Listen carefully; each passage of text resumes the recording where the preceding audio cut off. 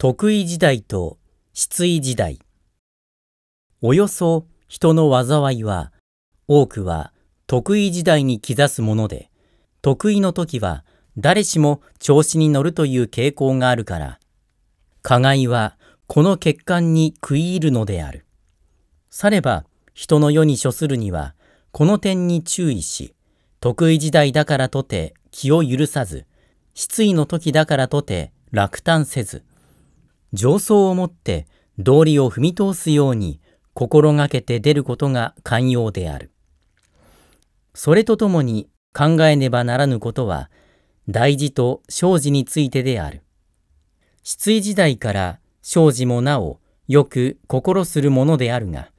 多くの人の得意時代における資料は全くそれと反し、何これ式のことといったように、生児に対してはことに警部的の態度を取りがちである。しかしながら、得意時代と失意時代とにかかわらず、常に大事と小事とについての心がけを緻密にせぬと、思わざる過失に陥りやすいことを忘れてはならぬ。誰でも目前に大事を控えた場合には、これをいかにして処置すべきかと、精神を注いで周密に思案するけれども、生児に対するとこれに反し、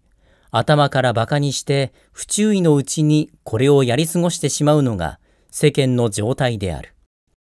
ただし、箸の上げ下ろしにも心を労するほど生児に肯定するは、限りある精神を吐露するというもので、何もそれほど心を持ち得る必要のないこともある。また、大事だからとて、さまで心配せずとも済まされることもある。故に、事の大小と言ったとて、表面から観察して直ちに決するわけにはいかぬ。生じ、かえって大事となり、大事、案外生じとなる場合もあるから、大小にかかわらず、その性質をよく考慮して、叱る後に相当の処置に出るように心が来るのが良いのである。しからば、大事に処するには、いかにすればよいかというに、まず、ことにあたって、よくこれを処理することができようかということを考えてみなければならぬ。けれども、それとて、人々の資料によるので、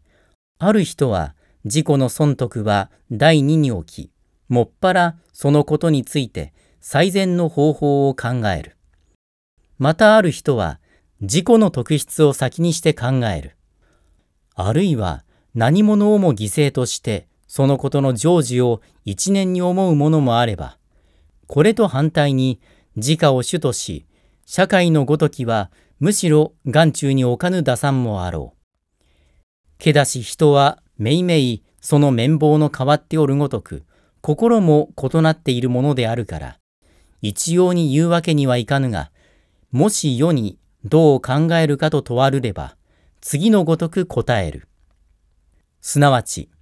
事柄に対し、いかにせば道理にかなうかをまず考え、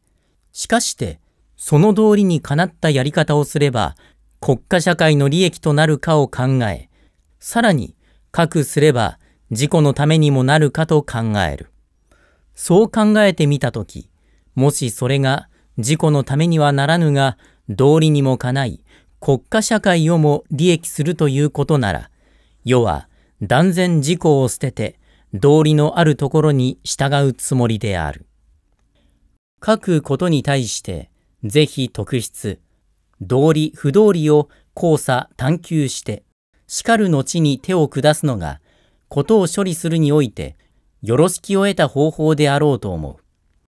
しかし、考えるという点から見れば、いずれにしても制裁に思慮しなくてはならぬ。一見してこれは道理にかなうから従うがよいとか、これは公益に戻るから捨てるがよいとか言うがごとき、早飲み込みはいけない。道理に合いそうに見えることでも、非道理の点はなかろうかと、右からも左からも考えるがよい。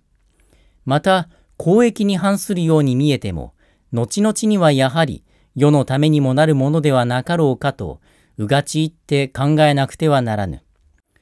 一元にして、是非局直、道理、非道理と即断しても、適切でなければ、せっかくの苦心も何にもならぬ結果となる。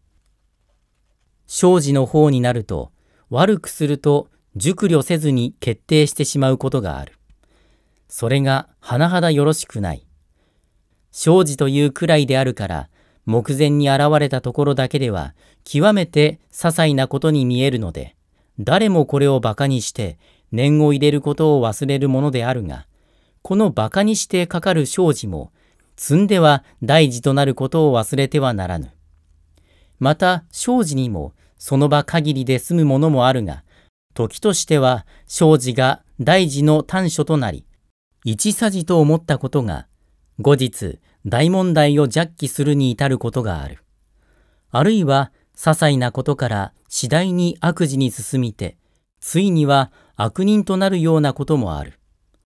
それと反対に、生児から進んで、次第に善に向かいつつ行くこともある。はじめは些細な事業であると思ったことが、一歩一歩に進んで大弊害を醸すに至ることもあれば、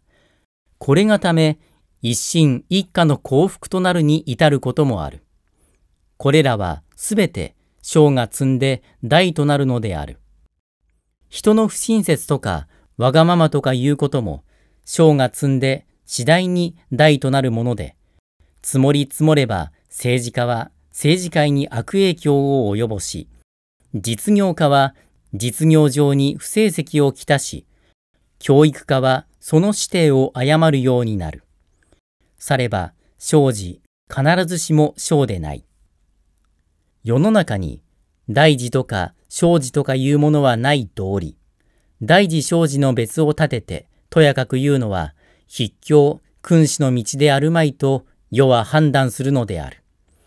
故に大事たると小事たるとの別なく、およそことにあたっては、同一の態度、同一の資料をもって、これを処理するようにしたいものである。これに添えて、一言しておきたいことは、人の調子に乗るはよろしくないということである。名をなすは常に窮苦の日にあり、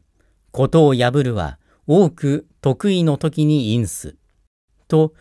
個人も言っておるが、この言葉は真理である。困難に処するときは、ちょうど大事に当たったと同一の覚悟を持ってこれに臨むから、名をなすはそういう場合に多い。世に成功者と目せられる人には、必ず、あの困難をよくやり遂げた、あの苦痛をよくやり抜いた、というようなことがある。これすなわち、心を締めてかかったという証拠である。叱るに失敗は多く得意の日にその兆しを成しておる。人は得意時代に処しては、あたかもかの生児の前に臨んだ時のごとく、天下何事かならざらんやの害をもって、いかなることをも頭から飲んでかかるので、ややもすれば目算が外れてとんでもなき失敗に落ちてしまう。それは生児から大事を醸すと同一義である。